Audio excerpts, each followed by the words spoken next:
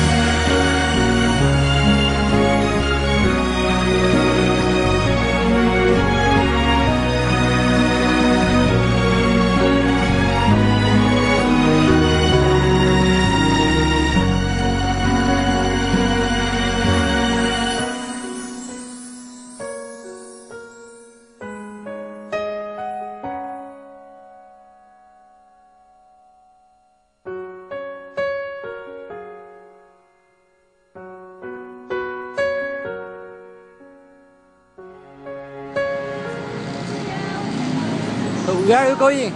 Uh, we are going to another church today to perform a song and promote our mission trip.